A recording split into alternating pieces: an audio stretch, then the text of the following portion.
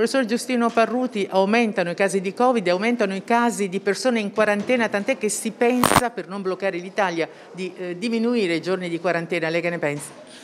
Dunque, per quanto riguarda tutti coloro che hanno avuto la terza dose, i dati che abbiamo dalle evidenze disponibili dimostrano che la durata dell'infezione e della contagiosità è in generale molto molto più bassa, per cui l'idea di poter portare la contumacia da 10 giorni a 7 giorni è un'idea assolutamente funzionale alla, alla buona azione quotidiana, insomma in generale penso che si possa fare senza peggiorare in nessun modo la diffusione del virus. Parliamo dei casi in Abruzzo e di questa variante Omicron, qual è la situazione e insomma che cosa si rischia? Allora, la situazione è abbastanza diciamo, complessa, ma la potremmo provare a definire così.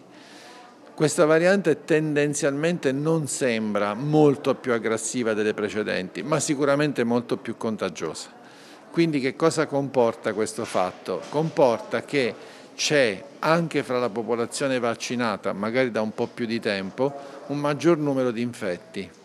Per cui i rischi maggiori, cioè quelli di andare in rianimazione, sono quasi esclusivamente nella popolazione non vaccinata, ma la possibilità di avere forme di polmonite anche abbastanza significative sale in una fascia della popolazione vaccinata, per cui l'impiego delle risorse probabilmente potrebbe aumentare nelle prossime settimane.